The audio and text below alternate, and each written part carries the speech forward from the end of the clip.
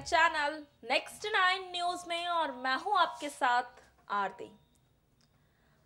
जहाँ देखो, वहाँ सिर्फ़ और सिर्फ़ कोरोना वायरस के ही चर्चे हो रहे हैं। कोरोना वायरस से कैसे बचा जाए? कोरोना वायरस के लक्षणों की क्या पहचान है? जहाँ चीन के वुहान से शुरू हुआ था कोरोना वायरस तो अब कोरोना वायरस भारत में भी दस्तक दे चुका है और ऐसे में ज़रूरी है वायरस से खुद को बचा के रखा जाए, क्योंकि अभी तक इसका तोड़ नहीं निकला है, इसके एंटीबायोटिक सामने नहीं आए। तो सबसे अच्छा विकल्प ये बचता है कि इस वायरस से खुद को बचा लिया जाए, ये सबसे बेस्ट ऑप्शन है। अब इस कोरोना वायरस को लेकर लोगों के बीच में अफवाहें भी बहुत फैल रही है। हर चीज़ को कोरोना वायरस से रिलेट कर दिया जा रहा है। ये नहीं करना, वो नहीं करना, लेकिन अगर ध्यान दिया जाए तो काफ़ी चीज़ें ऐसी हैं जिन्हें आप कर सकते हैं। तो आज हम आपसे अपनी इस रिपोर्ट में कोरोना वायरस के कुछ चंद लक्षणों के बारे में बात करेंगे और कैसे आप इन, इस कोरोना वायरस से बच सकते हैं। इस बारे में आपको कई उपाय और कई सुझाव भी देंगे। चलिए फिर नज़र डालते हैं हमारी स्पेशल रिपोर्ट पर। आज की ये रिपोर्ट आप सभी के लिए बहुत ही ज़्यादा खास होने वाली है। क्योंकि आज हम आपसे बात कर रहे हैं कोरोना वायरस को लेकर।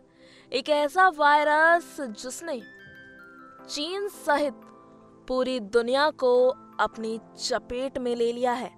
और दुनिया ही नहीं, बल्कि ये वायरस अब भारत में भी दस्तक दे चुका है।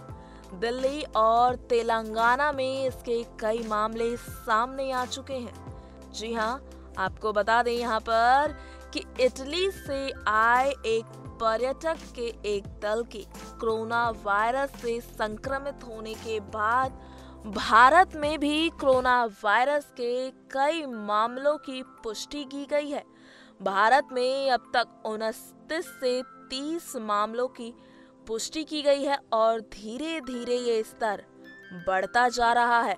बढ़ते वायरस से ज़रूरी है खुद को बचाए रखने की। जी हाँ आपको बता दें, अब वायरस को लेकर दिल्ली एनसीआर में रहने वाले लोगों के बीच अलग ही बेचैनी देखने को मिल रही है। अगर आपको एक रिपोर्ट के अनुसार बताएँ तो दिल्ली एनसीआर में मेडिकल स्टोर से मास्क और सैनिटाइजर की कमी हो गई है, क्योंकि लोग तेज़ी से इन्हें खरीदने के लिए दौड़ रहे हैं। वहीं आज हम आपको कोरोना वायरस के कुछ ऐसे लक्षण बताने जा रहे हैं, जिसे आपको पहचानना बहुत ही ज़्यादा ज़रूरी है। सबसे पहले आपसे बात करते हैं लक्षण के बारे में, फिर आपसे बात करेंगे उपाय के बारे में। जी हाँ कोरोना वायरस यानी कि कोविड 19 में सबसे पहले बुखार होता है, उसके बाद सूखी खांसी होगी और फिर एक हफ़्ते के बाद सांस लेने में परेशानी होने लगेगी।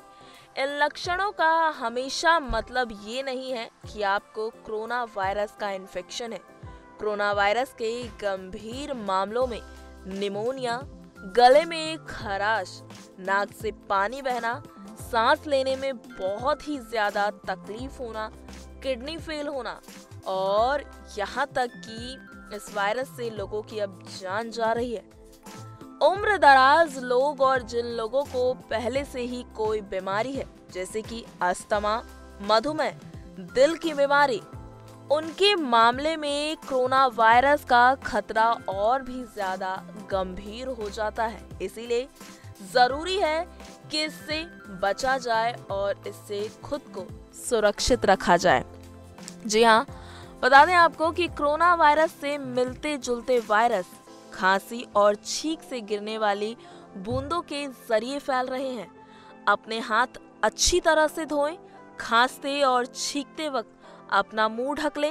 हाथ साफ़ नहीं हो तो आँखों, नाक और मुँह को हमेशा छूने से आपको बचना है। वहीं आपको ये भी बता दें कि कैसे आप कोरोना के इन्फेक्शन को फैलने से रोक सकते हैं।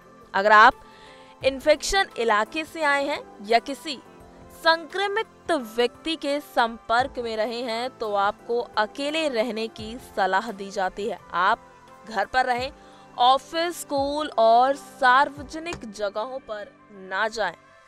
सार्वजनिक वाहन जैसे बस, ट्रेन, ऑटो या टैक्सी की यात्रा भी ना करें ना ही घर में मेहमान बुलाएँ घर का सामान किसी और से मंगवाएँ। अगर आप और भी लोगों के साथ रहते हैं तो ये खतरा और भी ज़्यादा बढ़ जाता है। चलिए, अब आपको ये बताते हैं कि कोरोना वायरस से बचाव के लिए लोग आजकल मास्क लगाते हुए नज़र आ रहे हैं। तो पहले आपको ये बताते हैं कि आखिरकार मास्क पहनना किसे चाहिए? विशेषज्ञों के अनुसार ये कहा गया है कि अगर आप स्वस्थ हैं तो आपको मास्क पहनने की ज़रूरत नहीं है। अगर आप किसी कोरोना वायरस से संक्रमित व्यक्ति की देखभाल कर रहे हैं तो आपको मास्क पहनना बहुत ज़्यादा ज़रूरी है। जिन लोगों को बुखार, कफ या खांसी, सांस लेने में तकलीफ़ की शिकायत है, उन लोगों को भी मास्क पहनना चाहिए और फ़ौरन डॉक्टर के पास जाना चाहिए। अब आपको मास्क पहनने का सही तरीका बता देते हैं। दरअसल, मास्क पर सामने से हाथ नहीं लगाना है आपको। अगर हाथ लग जाए तो तुरंत हाथ आपको धो लेने हैं।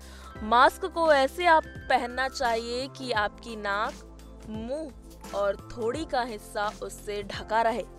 मास्क को उतारते वक्त भी मास्क की लास्टिक या फीता पकड़कर निकाले। मास्क को आपको छूना नहीं है। और इस बात का ध्यान रखें कि आपको हमेशा मास्क को रोज बदलना होगा। तो देखा आपने, हमने आपको अपनी इस रिपोर्ट में कोरोना वायरस के लक्षण, उससे बचाव, साथ ही साथ किन लोगों को मास्क पहनना है और मास्क किस तरह से पहनना है, इन बातों के बारे में बड़े ही विस्तार से बताया है। अब अफवाहों में ना फंसे और कोरोना वायरस पर ध्यान दें और इसके लक्षण जैसे ही आपको दिखे, वैसे ही नजदीकी अस्पताल में ज़रूर जाएँ और खासकर सर्दी, जुकाम, खांसी, बुखार को लेकर बिल्कुल भी लापरवाही ना बरते। फ़िलहाल आज के लिए बस इतना ही। इसी तरह की और खबरों के लिए बने रहे हमारे साथ और देखते रहे नेक्स्ट नाइन न्यूज़ को।